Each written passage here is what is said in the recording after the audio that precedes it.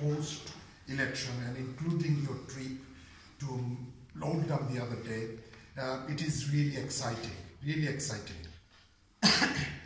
the initiative you have taken or the pledges you have made um, are challenging, no doubt, including the building.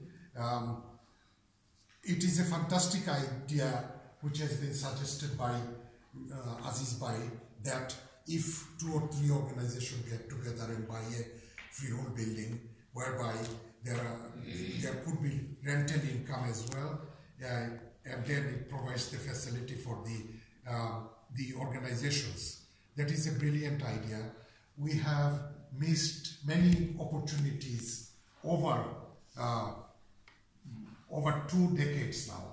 It is time to move on.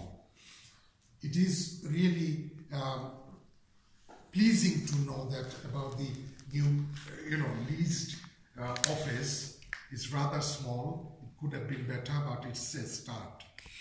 So the amount you have is not going to take you anywhere.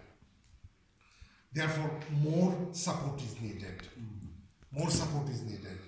And it is again a good idea to buy something outside London and the rental income would support the office here.